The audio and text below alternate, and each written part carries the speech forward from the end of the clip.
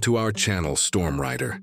In the ever-evolving world of naval technology, few ships capture the imagination quite like the USS Zumwalt, designated DDG-1000. As we move into 2026, the Zumwalt-class destroyer remains one of the most advanced and enigmatic warships ever built by the United States Navy. Named after Admiral Elmo Zumwalt, a visionary naval leader who pushed for modernization and innovation, this stealth destroyer represents a bold leap into the future of maritime warfare, designed not only for combat efficiency, but also to challenge the traditional ideas of what a destroyer can be. The USS Zumwalt stands as a floating testament to engineering excellence, futuristic design, and cutting-edge technology. From a distance, the Zumwalt doesn't even look like a conventional warship. Its unique angular shape, often described as alien or futuristic, is no accident. The ship's distinctive silhouette is designed using a concept known as a tumble-home hull, where the sides slope inward rather than outward. This innovative design drastically reduces its radar cross-section, making it appear on enemy radar like a small fishing vessel rather than a 600-foot warship. The stealth factor alone is a game-changer, allowing the Zumwalt to operate closer to hostile shores with minimal detection, giving the U.S. Navy a powerful advantage in modern maritime operations where invisibility is as valuable as firepower. Speaking of firepower, the Zumwalt doesn't disappoint.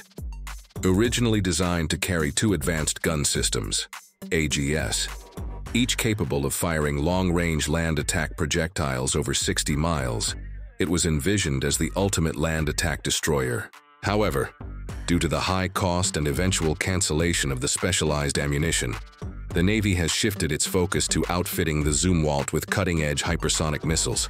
As of 2026, the ship is undergoing a transformation to integrate the Conventional Prompt Strike CPS, system, giving it the ability to launch hypersonic weapons that travel at speeds greater than Mach 5.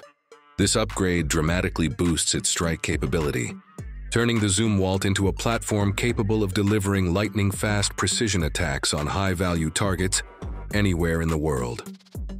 Under the sleek hull, lies one of the most sophisticated propulsion systems ever fitted to a naval vessel. The Zumwalt uses an integrated power system, IPS, a fully electric drive that generates around 78 megawatts of power, enough to supply a small city. This system allows the ship to distribute energy efficiently between propulsion, onboard systems, and future weapons like lasers or electromagnetic railguns. The IPS isn't just about efficiency. It's about flexibility, in traditional ships, power is split between engines and systems. But in the Zumwalt, everything runs through a common electrical grid. This means the ship can redirect power instantly where it's needed most. Whether that's to propulsion for high-speed maneuvers, or to energy-intensive weapons during combat.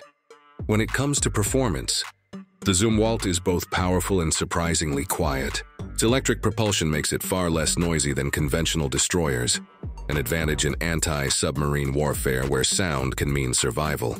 The ship's top speed reaches around 30 knots, and it can operate autonomously for extended periods, thanks to its advanced automation and reduced crew requirements. In fact, one of the key innovations of the Zumwalt is its crew size.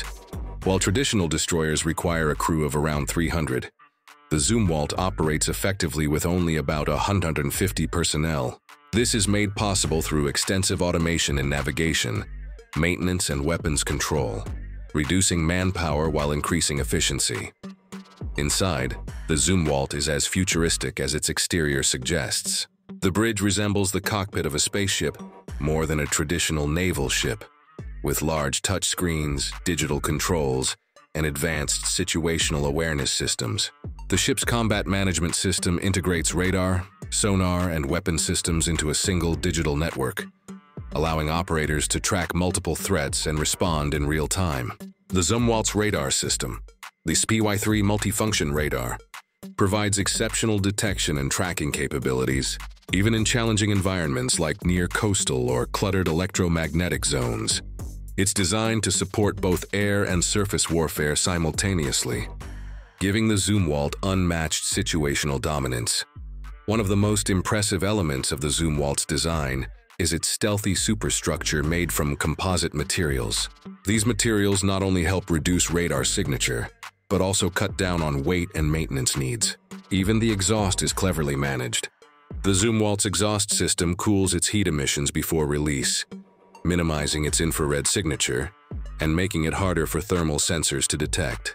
Combined with its sleek wave-piercing hull, the ship glides through water more efficiently, offering improved fuel economy and stability in rough seas.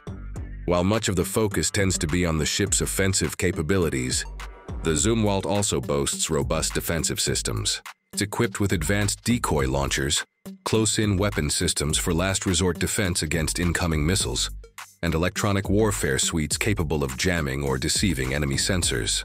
This multi-layered defense architecture ensures that the Zumwalt is not only a deadly attacker, but also a difficult target.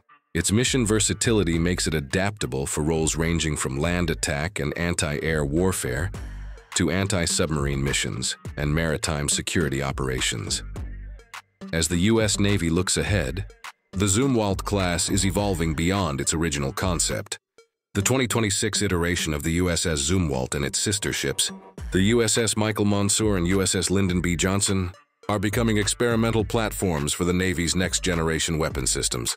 Hypersonic missiles are just the beginning. There are ongoing discussions about integrating directed energy weapons like high-power lasers, capable of neutralizing drones or incoming missiles. With its enormous electrical output, the Zumwalt is uniquely positioned to power such advanced systems, making it a bridge between today's destroyers and the warships of tomorrow. Of course, the Zumwalt program has not been without controversy. Its high cost, over $4 billion per ship, and limited production run have raised questions about value and practicality. Originally, the Navy planned to build 32 Zumwalt-class destroyers, but that number was reduced to just three, due to escalating costs and shifting priorities.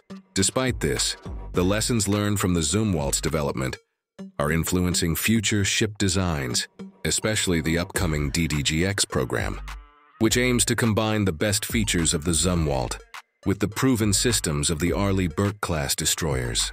In this sense, the Zumwalt serves not just as a combat vessel, but as a technological testbed for future naval innovation.